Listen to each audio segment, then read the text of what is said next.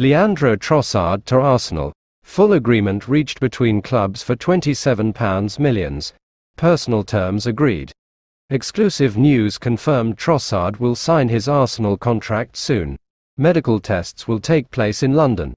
Contracts to be prepared soon. Fabrizio Romano reported this exclusive news.